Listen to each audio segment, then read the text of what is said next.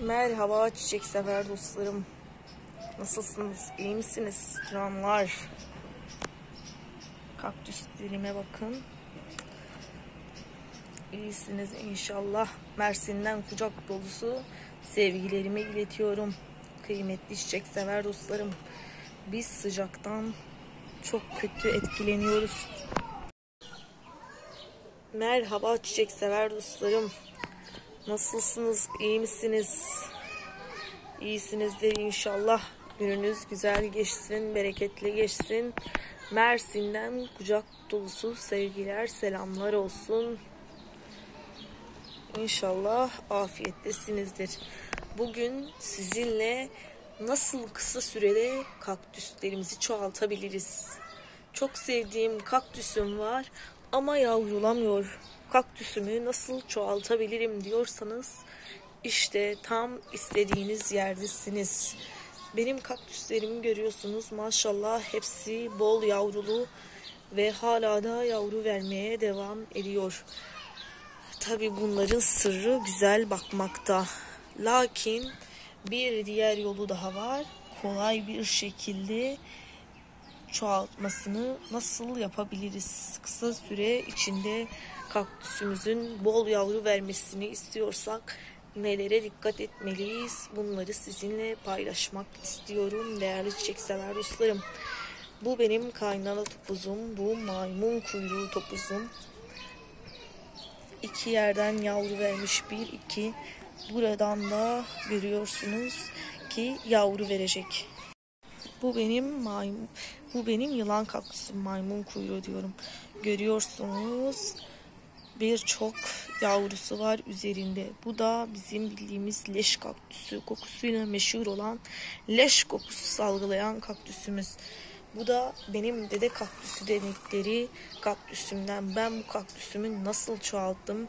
Bu normalde sütun şeklinde olan bir kaktüs ve yavru vermesi e, zaman alıyor diyebileceğim bir kaktüs ama daha bir yıllık bile değilken biz bundan iki tane yavru elde ettik. Acaba biz bunu nasıl sağladık?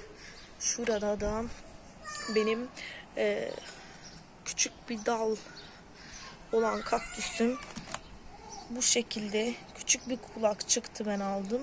Ektim çelik olarak ve ucundan kestim. İlk başta ucundan kestim. İki sürgün verdi. Ve iki sürgün de uzaya uzaya gidiyordu. Onların da ucunu hafiften kestim. Ve bir tanesinde iki yavru bir tanesinde de bir yavru vererek bize güzel bir dönüş sağladı. Acaba biz bunu nasıl yapıyoruz?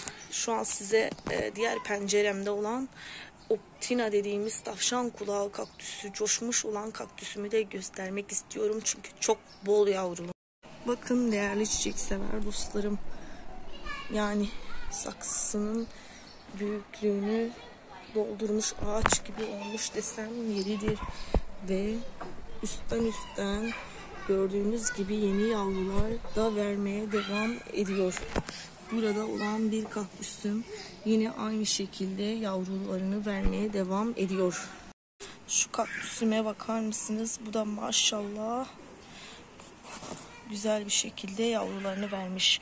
Şimdi biz kelle alma işlemiyle kaktüsümüzü kısa sürede nasıl çoğaltabiliriz? Gelin onu inceleyelim beraber. Size göstermek istiyorum. Burada yaptım bunu da yaptım ve bunu da yeni yaptım. Bunu da yaptım size göstereyim. Arkadaşlar bu kaktüsümü görüyorsunuz. O da bol yavrulu.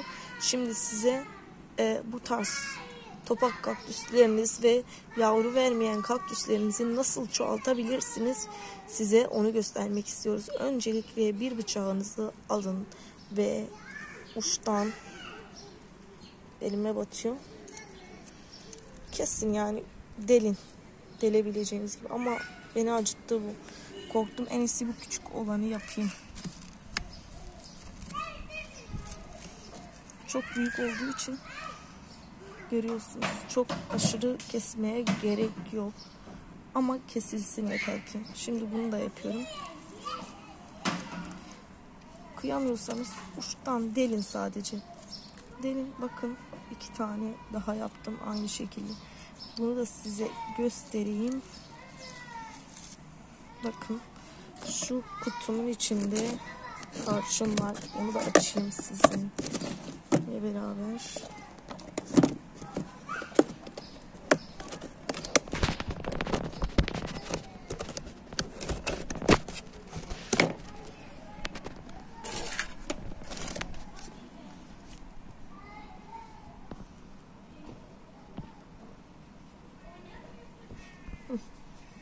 Tarçınlıyoruz ve kurya kurya suyunu vermeye devam ediyoruz.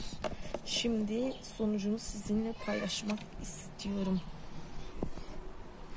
Sonuç ise bu şekilde yavru vermesi olacak. Burada kellesini aldık.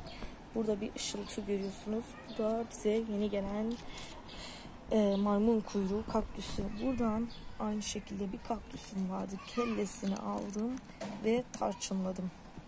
Buradan bir kaktüsüm vardı. Burasını kestim. iki yavru verdi.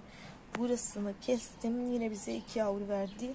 Ama buradaki bize bir yavru verdi.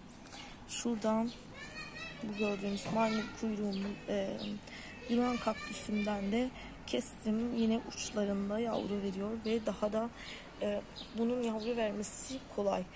Ama bu bu e, bu da yani tek daldı. Bunların yavru vermesi biraz geç. Sizin için bunu da kellesini almak istiyorum. Bakın çok kesmenize gerek yok. Bakın minnacık kestim ve tarçınlama tarçın eklemeyi unutmayın ki tarçının kök verme özelliği var. Burayı yarayı kurutup e, kurutup yavru vermesini sağlıyor. Bu yaptığımız kelle alma işlemini budama gibi düşünebilirsiniz. Biz diyelim sebze olsun yetiştirirken budarız ve bir yaprak keseriz bize 2-3 dal olarak gösterir. Yani üretiyoruz. Kısa yoldan çoğaltma diyebilirim değerli çiçek sever dostlarım. Sonucunu görüyorsunuz. İki yavru vermiş. Bunun yavrulaması biraz zaman alır. Bunun yavrulaması zaman alır.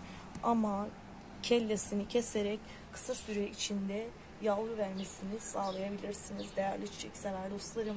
Sizi seviyorum. Kendinize iyi bakın. Allah'a emanet olun. Desteklerinizi esirgemeyiniz. Sizi seviyorum. İnşallah bunların yavrulu hallerini de atarım size. Allah'a ısmarladık. Mersin'den kucak dolusu selamlarım olsun size.